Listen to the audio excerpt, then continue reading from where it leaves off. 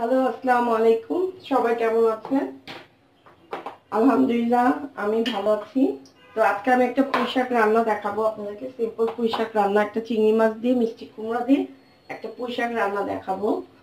তো আমি অলরেডি তেল গরম দিয়ে দিয়েছি এখানের মধ্যে। এখন আমি এটার মধ্যে একটু পেঁয়াজ অ্যাড করব।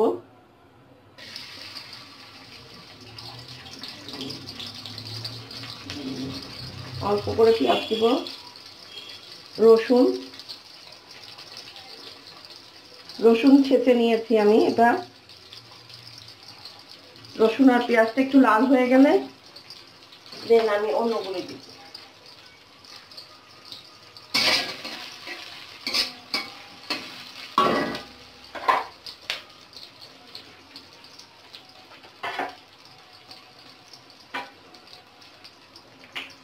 এটা একটু লাল হয়ে আসলে আমি এটার সাথে চিংড়ি মাছ অ্যাড করব।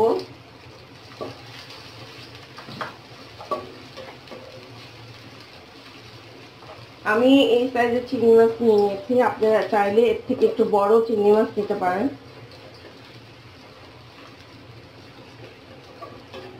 বড় চিংড়ি মাছ নিলে আরও টেস্টটা ভালো লাগবে।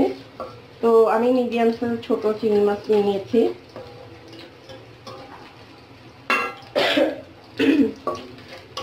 তো আর একটু লাল হতে হবে এটা।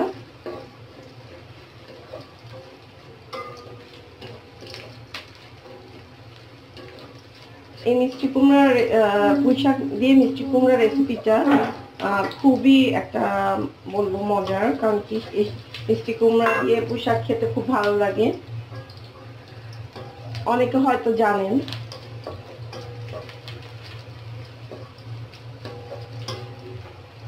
যারা সবজি পছন্দ করেন, তাদের জন্য অনেক ভালো লাগবে এই রেসিপিটা তো আমি এখন একটু চিংড়ি মাছ এখানে অ্যাড করে দেব।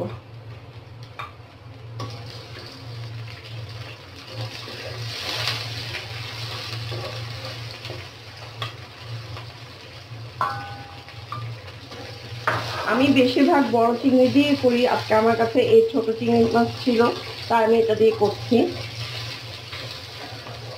আমার কাছে একটু বড় চিংড়িটাই ভালো লাগে।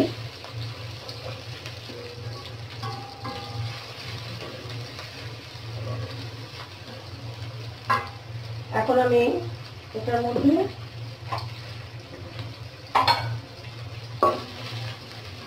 একটু মিষ্টি কুমড়া করে দিয়ে দিব।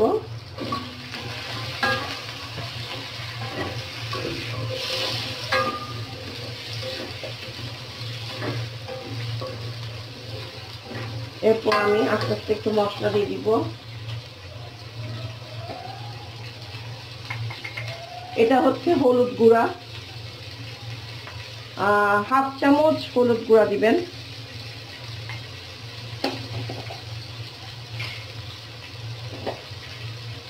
হাফ চামচের থেকে একটু কম মরিচের গুঁড়া। আর ধনিয়া গুঁড়াও হাফ চামচ।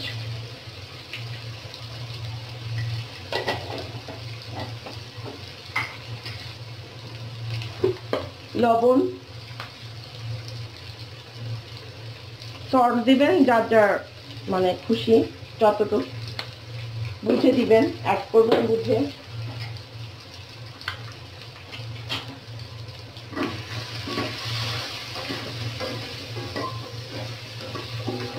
একটু মিষ্টি কুমড়াটা একটু লাল লাল যে মিষ্টি কুমড়াটা, ওটা দেওয়ার চেষ্টা করবেন।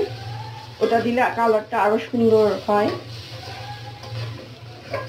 তো আমি লালটা পাইনি আজকে, এজন্য আমি এই কালারটা দিয়েছি। মানে একটু অরেঞ্জি কালার যেটা, মিষ্টি কুমড়া, সেটা ইউজ করার চেষ্টা করবেন। তো জালটা একটু কমাই দিব। আমি এখন এটার সাথে একটু পানি অ্যাড করব।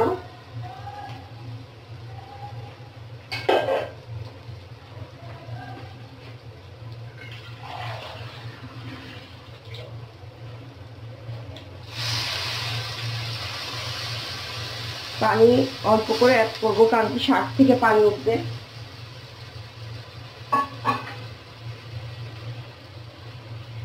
আচ্ছা এটার সাথে আমি একটু করে জিরা গুঁড়াও দিয়ে দিচ্ছি। আধা চামচের মতন। নামানোর আগে আবার একটু দিব।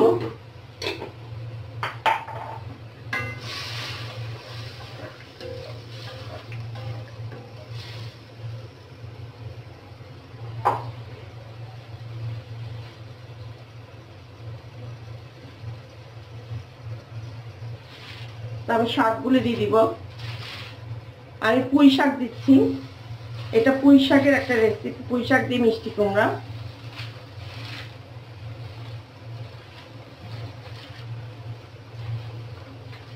আমি সবগুলি দিয়ে দিলাম।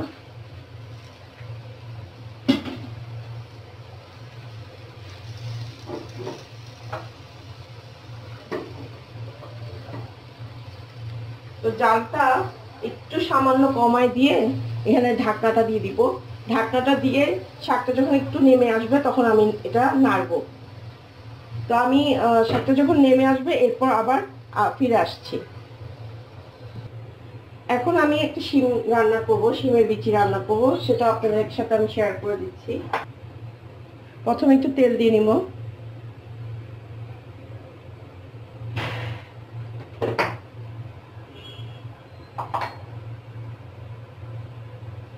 তেলটা হালকা একটু গরম হয়ে আসলে আমি পেঁয়াজ দিয়ে দিব।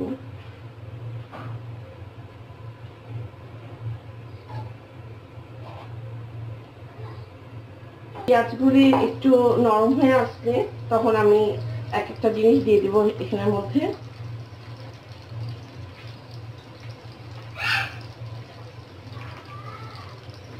তো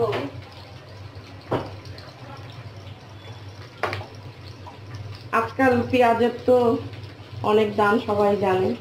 অনেক মূল্যবান একটা জিনিস হয়ে গেছে।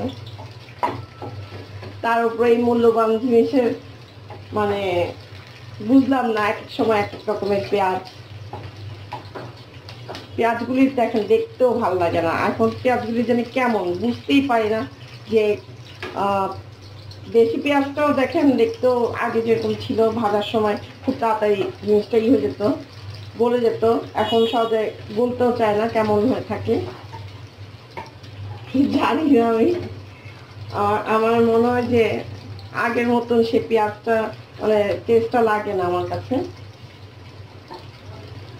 এখন মিক্সড হয়ে গেছে, চায়না পেঁয়াজ ইন্ডিয়ান পেঁয়াজ সব মিক্সড হয়ে গেছে।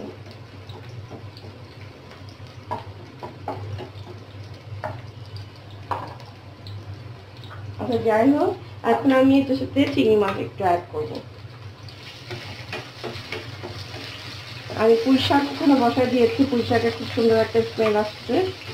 তো আপনাদেরকে দেখাবো একটু পর পুঁই শাকটা কি অবস্থায় আছে।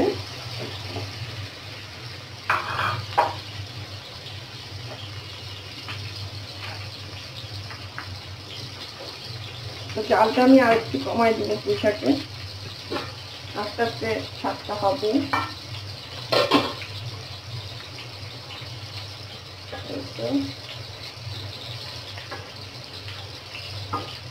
আপনাদের একটু দেখায় পোশাকটা অবস্থা।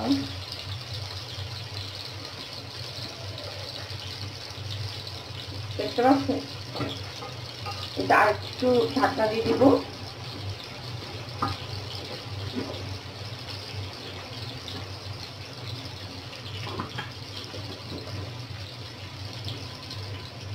তো এখন আমি এই রান্নাতে আবার চলে আসি একটু টমেটোটা অ্যাড করব। টমেটোটা দিব। এরপর আমি শিঙের বিচি দিব। এই যে শিঙের বিচি। এখানে।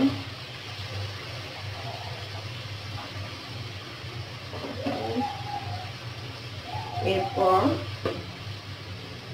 লবণ দিব। লবণটা বুঝে দিবেন। সবসময় আমি বলি, যার যার পরিমাণ অনুযায়ী লবণ দিবেন টেস্ট অনুযায়ী। কেউ লবণ কম খায়, কেউ বেশি খায়। আমি এখানে দেড় চামচের মতন লবণ দিলাম।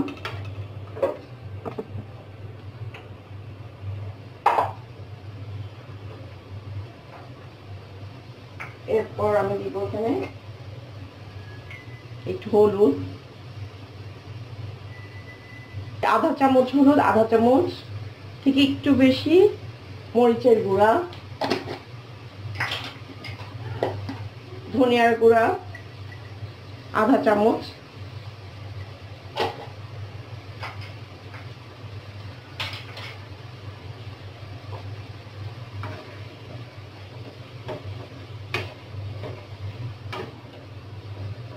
রান্নাগুলি খুবই তাড়াতাড়ি হয়ে যায়।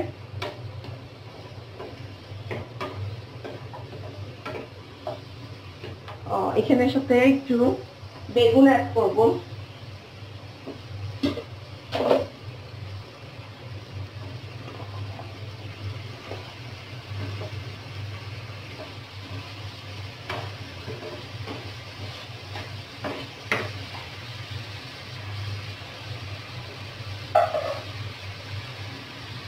এখানে আমি দিলাম টমেটো বেগুন শিমের বিচি দিয়ে এটা আমি এখন মশলা দিয়ে মাখাচ্ছি। হলুদ, মরিচ, ধনিয়া গুঁড়া, এগুলি সব অ্যাড করেছি।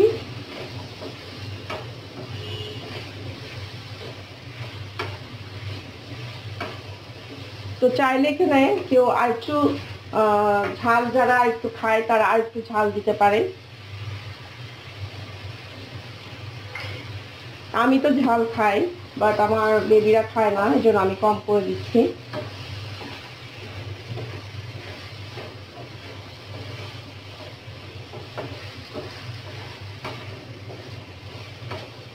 আর সবচেয়ে বড় বেবি তো আমার হাজব্যান্ড সেও ঝালটা খায় না। এই জন্য আমি মানে কম দিতে হয়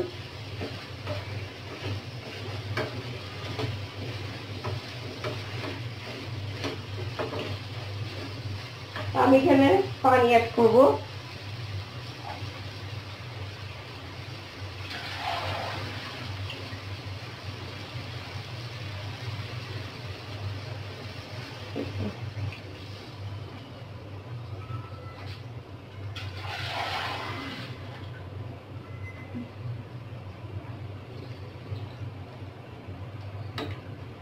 পানি দিব এরকম মগের আপনারা এক মগ পানি দিবেন। বা লাগলে আর একটু দিয়ে নেবেন পরে। আগেই পানি বেশি বেশি দিবেন না লাগলে পরে দেওয়া যায়। আর কি প্রথমে যদি আপনি বেশি দিয়ে ফেলেন হয়তো বেশি গলে যেতে পারে তখন সেই ক্ষেত্রে কিছু করতে পারবেন না। বাট পানি যদি একটু কমায় দেন পরে যদি লাগে তাহলে আপনি আবার অ্যাড করতে পারবেন।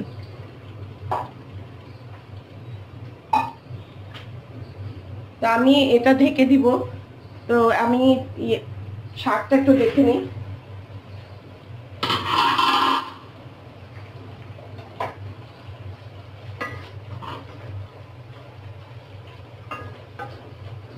এখন আমি শাকের মধ্যে দেখাই। আমি শাকের মধ্যে এখন একটু ইয়ে কাঁচা মরিচ দিয়ে দেবো। কাঁচা মরিচ দিয়ে দিব শাকে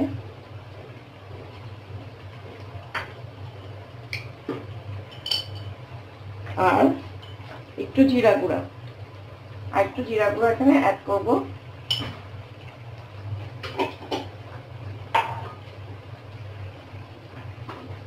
আর অ্যাড করব সুগার চিনি। এক চামচ আর আরেক আধা চামচ দিলাম মানে দেড় চামচ চিনি দিলাম আমি।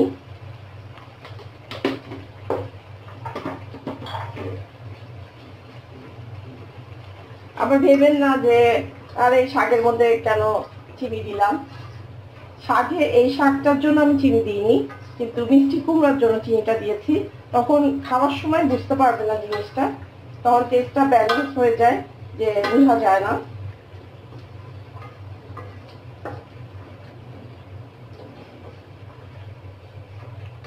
চাইলে আপনারা স্কিপ করতে পারেন চিনিটা, এটা অপশনাল তো চিনিটা দিলে টেস্টটা একটু বাড়ে।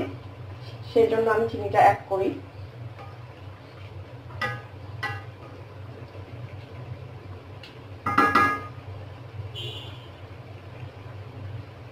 আর একটু লবণ লাগবে আমার।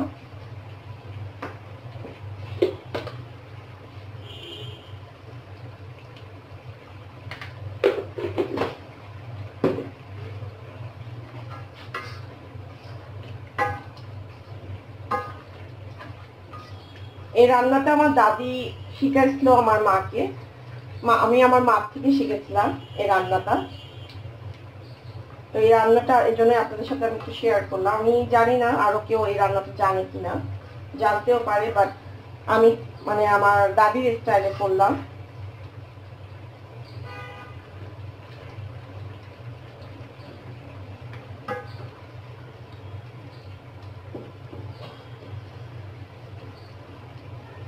এটা আরেকটু হবে। যখন এই যে মিষ্টি কুমড়াগুলি আরেকটু গলবে, তখন আমি এটা নামাবো। এটা একটু ঝোল ঝোল থাকবে।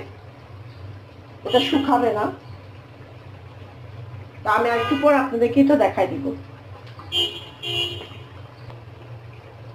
আমার পুষাক হয়ে গিয়েছে রান্না। এই যে এরকমই ঝোলটা থাকবে। দেখা দিচ্ছি। এরকম ঝোলটা থাকবে। হালকা মাখা মাখা ঝোল থাকবে, তখন এটা নামাই নেবেন। সব কিছু চেক করে নামাই নেবেন, লবণ টবণ। এটা হয়ে গেছে, আমি চুলা অফ করে দিব। তা আমার ওই রান্নাটাও দেখা দিব আপনাদেরকে। আমি ঢাকনাটা উঠে একটু দেখব। তো এইভাবে করে বেগুনগুলি একটু চেপে চেপে দিবেন। বেগুনগুলি যাতে একটু ভেঙে ভেঙে আসে। আবার বেশি করবেন না, যাতে শিমের বিচিটা না ভাঙে। বেগুনগুলি খালি একটু এভাবে করে ভেঙে ভেঙে দিবেন, যাতে একটু আঠা আঠা হয় তরকারিটা। আর আমি অফ ক্যামেরায় কাঁচামরিচগুলি অ্যাড করে দিয়েছিলাম। এখন একটু ধনিয়া পাতা দিয়ে দিব এখানে।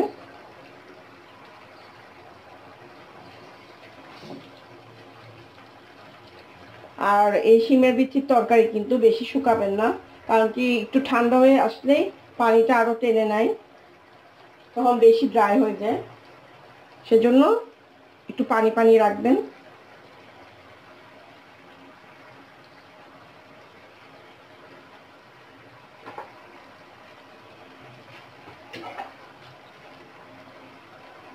তো আমার দুটোটা রান্না প্রায় হয়ে গেল। ওই রান্নাটা তো হয়ে গিয়েছে।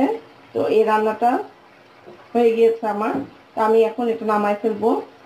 কারণ কি একটু পর আবার এটা আরও একটু শুকায় আসবে ড্রাই হয়ে যাবে। এই জন্য আমি এই অবস্থায় নামাই ফেলব। তো আমার রান্না শেষ। শেষ অবস্থায় আমার কারেন্টও চলে গিয়েছে।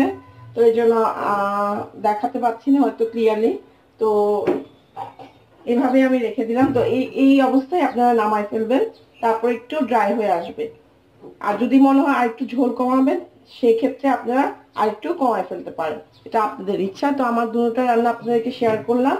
তো সবাই ভালো থাকবেন। ভালো লাগলে অবশ্যই ফলো করবেন আর আমার ইউটিউব চ্যানেলকে সাবস্ক্রাইব করবেন লাইক দিবেন। তো সবাই ভালো থাকেন। আল্লাহ হাফিজ।